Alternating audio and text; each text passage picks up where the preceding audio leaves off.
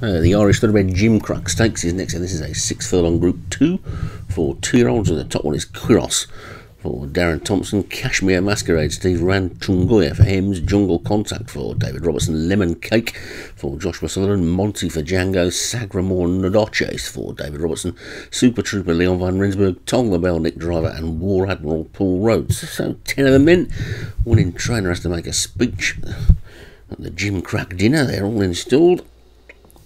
Uh, the way they go, on a really level break this time with nothing all that keen. It would seem to go into the early lead, and then maybe Kashmir Masquerade or Super Trooper are going to try and take it. Sagramore, the Dutch ace, though, has got the rail, and he's in lead. It's a straight run this though, so it shouldn't make too much difference. But Sagramona Doches has got the rail to keep it straight up the centre of the track. Kashmir Masquerade and, and um, Super Trooper.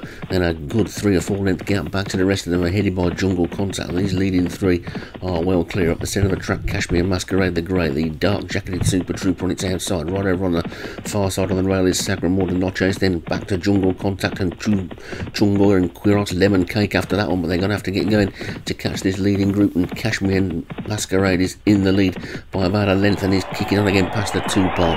Cashmere Masquerade in the lead then. Sagramon and Doshes over on the far side now being chased by stablemate Jungle Contact and those two look like they're going particularly well now. Sagramon and Doshes might be in the lead. The pack are beginning to close. It's Sagramon and Doshes Super Trooper up the centre of the track. They're inside the final half furlong. It's going to be a bunch finish. Jungle Contact coming through. Jungle Contact's got into the lead as they race up towards the line. Jungle Contact is going to take the Gimcrack. Jungle Contact is going to close for the places. Quiros Chango and Sandra Morganocci's War Admiral finished well as well, but a messy race. And Sandra Morganocci set it up for his stablemate, didn't he? Not sure that, that was the intention, but it uh, certainly seemed to pay off.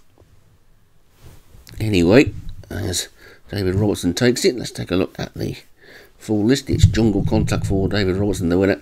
Jungoya for Hims was second. Quiros for Darren, for Darren Thompson was third. Sagramore de Noches for the winning trainer was fourth. And War Admiral for Paul Rhodes was fifth.